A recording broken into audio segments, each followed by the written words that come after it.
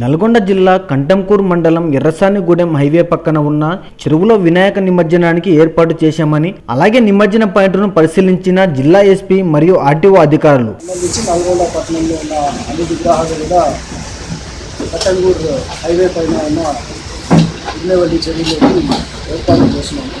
ముఖ్యంగా ఇక్కడ క్రేన్ ఏర్పాటు అదేవిధంగా స్విమ్మరు బోట్స్ అన్ని ప్రికాషన్స్ కూడా తీసుకుంటున్నాము హైవే మీద కూడా వచ్చే పెద్ద vehicles lorries twelve twelve tyre vehicles అన్నీ కూడా మార్కెట్పల్లి మీదుగా కూడా హుజూర్ నగర్ కోడాడ వైపు పంపిస్తున్నాము అదేవిధంగా కోడాడ వైపు నుంచి వచ్చే వెహికల్స్ కూడా మిరియాలగూడ పై నుంచి మార్కెట్పల్లికి తరలిస్తున్నాము ముఖ్యంగా ఇక్కడికి వచ్చే భక్తులు అందరూ కూడా పోలీస్ పోలీసు వారు చెప్పే సూచనలు పాటిస్తూ డీజేలు ఎక్కడ కూడా వాడడానికి లేదు.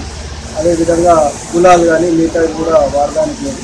ముఖ్యంగా మనం నేషనల్ హైవే పైన ఇది ఉంది కాబట్టి అందరూ కూడా త్వర త్వరగా వాళ్ళ నిమజ్జనం ముగించుకొని ఇంకా ఈ కట్టంగూరు మీదుగా పానగల్కి చేరుకొని నల్గొండ పట్టణానికి వెళ్ళవలసిందిగా కోరుతున్నాము. ఉదయం ఏడు గంటల నుండి సాయంత్రం వరకు విగ్రహాలను నిమజ్జనం చేసుకోవచ్చన్నారు. అలాగే ట్రాఫిక్ ఎలాంటి అంతరాయం కలగకుండా భద్రతలు ఏర్పాటు చేశామన్నారు.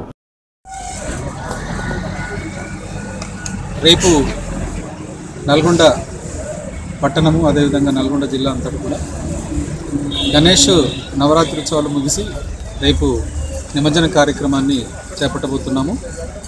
మరి ఈ సందర్భంగా నల్లగొండ పట్టణంలో ఉన్నటువంటి దరిదాపు ఆరు వందల వినాయక విగ్రహాలని నిమజ్జనం చేయడం కొరకు ఇక్కడ కట్టంగూరు మండలంలో ఉన్నటువంటి గచ్చుగూరి చెరువు వద్ద మరి ఏర్పాట్లు చేయడం జరిగింది.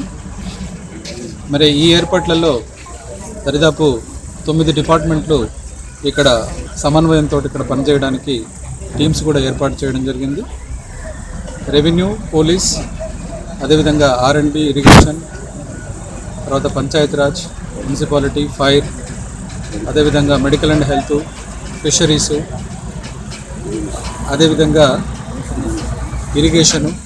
సో తొమ్మిది శాఖల సమన్వయంతో ఈ యొక్క కార్యక్రమాన్ని చేపట్టడం జరుగుతుంది.